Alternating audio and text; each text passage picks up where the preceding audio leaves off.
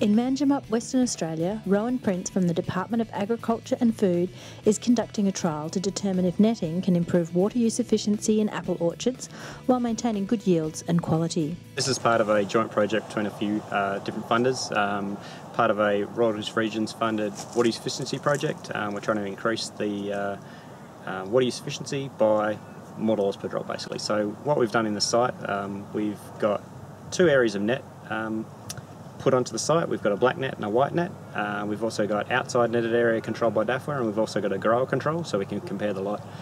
Now in the first year um, the, the net's gone up um, October. We've had one season of cropping um, and what we've noticed is we had 13-14% less uh, water applied under the netted area um, than compared to the grower. In the first year of the trial, the trees became quite vigorous and there was lots of ground cover growth. To counter this, drip irrigation was installed in a small part of the netted area to replace the under tree sprinklers. So some of the benefits that we've seen from putting the drip irrigation in the system is that we've used far less water. We've applied only uh, 2.8 megalitres compared to about uh, 4.8 under the net. Um, outside the net there's around uh, 6 megalitres by us and 5.2 by the grower and so that's effectively a, a 45% reduction than what's being used by the growers currently.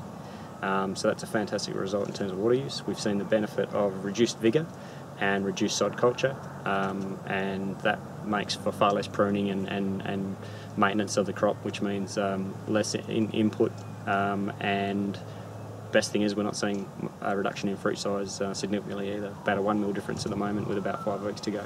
The results are now in from the harvest and quality assessment of the fruit. They show that drip irrigation under netting is the most water efficient method of production, meaning more fruit can be grown per megalitre of water applied. The highest yield was under the white netting, which produced around 70 tonnes per hectare. However, commercial harvest results were not recorded in the plot that was drip irrigated, although it looks like its marketable yields could have been similar or higher.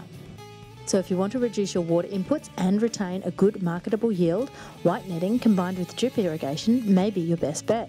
Um, but yeah, we're seeing actually better better background colour under the white net, and the biggest benefits obviously huge reduction in sunburn, no bird damage, um, which also adds to the water use efficiency profitability wise, we've got to sort of compare it. Um, obviously, there's been a capital cost. We'll have to look at the capital costs. But in terms of making yourself more robust in a in a variable climate, um, you know, protection from hail, protection from birds, protection from sunburn, um, it seems a big benefit. Many thanks to Maurie and Lyster for hosting the trial and the Future Orchards Walk, where Western Australian growers got to talk to Rohan and see the trial. For more information on Rohan's netting research, read his article in the October edition of Australian Fruit Grower magazine that you can also find on the APAL website.